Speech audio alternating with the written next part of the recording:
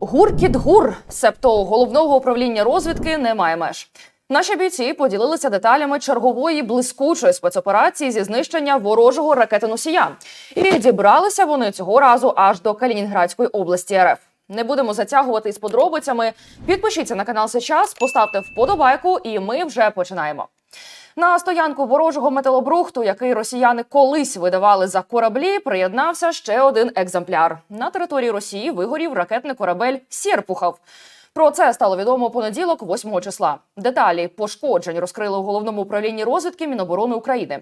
Сама подія відбулася 7 квітня на території військово-морської бази РФ у місті Балтійськ Калінінградської області. Внаслідок несамовитої пожежі плавзасіб цілком виведено з ладу. Повністю знищені всі засоби зв'язку та автоматизації судна. У відомстві опублікували невелике відео, судячи з якого причиною горіння став невеликий саморобний вибуховий пристрій в одному зі службових приміщень на борту. Відновлення боєздатності Сєрпухова потребуватиме тривалого часу, додають у розвідці. То що це за залізяка? Сєрпухов російський малий ракетний корабель проекту 21631 Буян М і є п'ятим кораблем у цій серії. Спущений державою агресором на воду ще у 2015 році. До кінця 16-го перебував у складі Чорноморського флоту РФ, а з 2017-го – Балтійського флоту. Обладнаний установкою вертикального пустку ЗС-14 на 8 крилатих ракет Онікс. У перспективі на ньому можливе встановлення ЗМ-22 «Циркон», а також калібр, що дозволяє завдавати ударів цими ракетами по наземних цілях на відстань до півтори тисячі кілометрів із неядерного бойовою частиною, за іншими даними, до двох тисяч кілометрів. Крім того, артилерійське озброєння корабля включає 100-мм гармату А-190 Універсал і 30-мм автоматичну установку АК-630М2 Дует з двома обертовими шестиствольними гарматами. Корабель також озброєний двома зенітно-ракетними установками ЗМ-47 «Гібка», двома 14,5 мм кулеметами і трьома кулеметами на 7,62 мм. Ну і додам трохи технічних характеристик. Водотонажність судна становить 949 тонн. Його довжина сягає 74,1 метра, а ширина 11 метрів. Висота становить 6,57 метра, а осадка 2,6 метра відповідно. Екіпаж судна складається з 32 осіб. Корабель може розвивати максимальну швидкість у 25 вузлів і дальність плавання – 2500 миль на швидкості 12 вузлів. Автономність його становить 10 днів. Варто зазначити, що до цього окупанти повідомляли про пожежу на багатофункціональному судні постачання Єкатеріна Великая проекту IBSV 10022 AH у Владивостоці. Про це писала далекосхідна транспортна прокуратура Російської Федерації. Як зазначається, займання сталося, коли корабель перебував на технічному обслуговуванні у порту міста в центрі судноремонту Дальзавод. Вогонь нібито загасили рятувальники, але не без жертв. Внаслідок інциденту, як писали російські змі, одна людина загинула ще три особи були доставлені до лікарні. Варто додати, що Криголам зійшов з верфі лише три роки тому, і ним дуже хизувалися окупанти, називаючи цей корабель своєю гордістю і єдиним у своєму роді. А ще за даними з відкритих джерел, багатофункціональне судно постачання Єкатеріна Велика посиленого льодового класу. Icebreaker 7 вважалося головним із серії з чотирьох кораблів для нафтової компанії Роснефть. Загалом останнім часом росіянам штиль тільки сниться. Противник стрімко продовжує втрачати свій флот. Загнайте пальці. Так у березні військово-морських силах ЗСУ підтвердили ураження російського військового десантного корабля Іван Хурс. Наразі він перебуває у небоєздатному стані. До цього не втрималися на воді ВДК Ямал та Азов. Їх бахнули у тимчасово окупованому Севастополі. А тепер, як пишуть осінт аналітики, ці бляшанки перетягли до Кіленбухти, де знаходиться 13-й судноремонтний завод Чорноморського флоту Росії. БДК Ямал стоїть у плавдоку ПД-88 і ще один уражений БК Альшанський залишився на тому ж місці, а саме у Сухарній бухті. У ньому Збройні сили України 24 березня завдали удару ракетним комплексом Нептун. Власне, це судно захопили під час окупації Кримського півострова ще у 2014 році. Корабель цей повинен був використовуватися Україною, тому так символічно по ньому і вгатили українською зброєю. Очевидно, що військовий флот Росії намагається захистити свої кораблі від атак морських дронів, сховавшись у бухті, вхід якої перегороджений затопленими баржами. Про це заявив речник військово-морських сил ЗСУ Дмитро Плетенчук. Ця практика не нова, каже він. Те ж саме вони робили навколо так званого Кримського мосту. На баржі вішають бонові огорожі. Все це використовується як такі елементи захисних споруд, сказав спікер. Як ви можете оцінити такі втрати ворога? І що думаєте про ті маніпуляції, які путіністи намагаються виробляти зі своїми бляшанками? Допоможе або ж ні? Напишіть, будь ласка, свої думки і свої оцінки в коментарях під цим відео. Залишайте нам також свої вподобайки, підписуйтесь активніше на канал Сейчас і тисніть на дзвіночок, аби залишатися з оперативними новинами 24 на 7. Ну а більше цікавого обіцяю вже незабаром. Дякую, що ви з нами. Продовжуйте перегляд.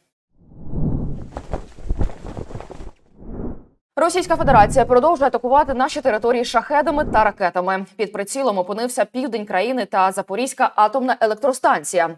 Внаслідок прильотів, на жаль, є загиблі. Тим часом бавовна вдарила по бальному росіяну Курську. А в Оренбурзькій області міста та села йдуть під воду через прорив двох дамб. Про це а також про обстановку на фронті. Далі у свіжому дайджесті новин за 8 квітня. Ви на каналі Сій час у студії Анна Ткаченко. Одразу пропоную підписатися, поставити вподобайку. Натискайте, звісно ж, на дзвіночок і гайде до справи. В ніч з 7 на 8 квітня росіяни атакували Україну шахедами та ракетою Х-59, яку було успішно збито в небі. Також наші сили протиповітряної оборони знищили 17 із 24 ворожих дронів. Про це повідомили в повітряних силах ЗСУ. Окупанти вкотре спрямували кілька хвиль ударних безпілотників по південних регіонах країни. Під ворожим прицілом була критична інфраструктура. На жаль, є влучання в Одеському районі. Як повідомили в силах оборони Півдня, пошкоджено логістично-транспортний об'єкт. Крім того, падінням уламків збитого дрону там також уражено АЗС. На щастя, люди не постраждали. А у Звягільській громаді Житомирської області внаслідок атаки РФ пошкоджено об'єкт критичної інфраструктури. Про це повідомив голова ОВА Віталій Бунечко. За попередньою інформацією, жертв та постраждалих на щастя немає. Однак, внаслідок влучення місцевих мешканців попередили про загрозу забруднення повітря та переведення шкіл у дистанційний формат навчання. Під прицілом окупантів 8 квітня також опинилася Запорізька атомна електростанція. В МАГАТЕ розповіли, що ворожий безпілотник влучив в один із захисних куполів станції. Також гендиректор міжнародної агенції з атомної енергії Рафаель Гроссі підтвердив, що найменше три прямих влучання в основну конструкцію захисної оболонки реактора, назвавши це неприпустимим. Росіяни ж відреагували на прильоти в своєму репертуарі вкотре звинувативши саме Україну. Так, в Росатомі заявили, що нібито це збройні сили України вдарили трьома дронами по ЗАЕС. Про це зокрема пише агентство Reuters. За даними ворожих організацій, внаслідок атаки поранені три людини, а рівень радіації на станції, начебто, нормальний. Також ворог обстріляв із градів Пологівський район в Запорізькій області. В обласній адміністрації повідомили про трьох загиблих. Ще три людини отримали поранення. На Дніпропетровщині за вечір 7-го в ніч на 8 квітня війська РФ били по Нікопольському району вісім разів, використовуючи шахеди та артилерію. Про це розповів голова ОВА Сергій Лисак. Внаслідок атаки пошкоджені комунальне підприємство, приватний будинок та авто.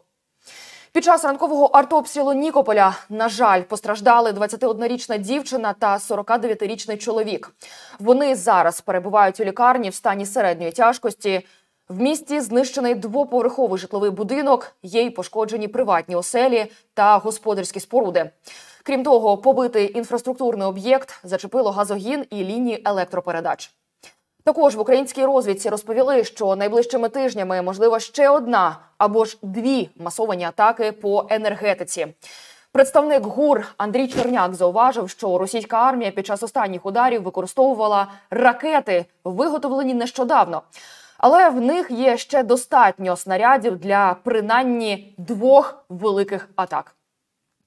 Нині ж будемо рухатися далі до новин із Росії. Здається, сусідам повертаються кармою всі їхні злодіяння на наших землях. Адже як інакше пояснити всі ці природні катаклізми, пожежі та чисельні інциденти? До прикладу, 8 квітня бавовна навідалася в Курську область і вдарила по больному росіян по спиртзаводу. Про це повідомляють російські телеграм-канали. Губернатор області Роман Старовойт вже встиг заявити, що це буцімто справа рук українських військових, які нібито скинули вибухівку на території колишнього спиртзаводу неподалік села Гуєво Суджанського району. Пожежа, що виникла в приміщенні, нібито недіючого заводського клубу, вже ліквідована, проте палала яскраво. Ну а в Білгородській області тим часом місцеві жителі чули мінімум 60 хлопків за останню добу. Ворожі змі повідомляють про нібито одну загиблу та ще п'ятьох постраждалих внаслідок цих от бабахів. Також пошкодження отримали 16 приватних домоволодінь, три квартири, торговельний центр та сім транспортних засобів. Також у російському примор'ї горіла Катеріна Велика, багатофункціональне судно Російської Федерації. Цей корабель зійшов з верфі лише три роки тому та вважався гордістю всієї Великої і необ'ятної. Далекосхідна транспортна прокуратура РФ повідомила, що займання на кораблі в центрі судноремонту Дальзавод сталося в ніч на понеділок. І внаслідок цього інциденту загинула одна людина, а ще трьох госпіталізували. Тим часом російські міста продовжують іти під воду. Внаслідок прориву двох дамб у Оренбурзькій області, крім річки Урал, з берегів вийшла ще одна річка Єлшанка, а вода дісталася й до міста Оренбург та найближчих сіл. Наразі триває евакуація населення, але в Орську росіяни на човнах рятують не людей, а пральні машинки та холодильники. Давайте послухаємо місцевих жителів. Журналисты, вы можете рассказать, куда вы поплыли? 44А. Куда еще раз? 44А. А там у вас что? В подъезд зашла вода, первый этаж. Вы людей поехали вызволять? Нет.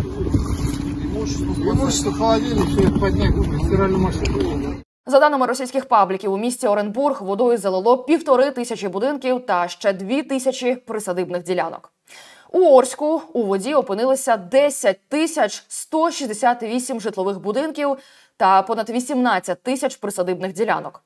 Відомо, що рівень рідини в річці Урал зріс до 872 сантиметрів, а у річці Сакмара до 783 сантиметрів.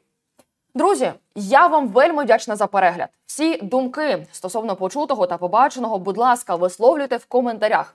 Не стримуйте себе, не бережіть своїх емоцій. Давайте разом будемо обговорювати поточні події, адже ми вже готуємо новий випуск, і з ним побачимося незабаром. Ви ж поки не скупіться на свої вподобайки, підписки на канал Сейчас і обов'язково тисніть на дзвіночок, аби завжди бути в курсі всіх подій в Україні та світі. Я вам вдячна, що ви нам довіряєте. До зустрічі у нових дайджестах.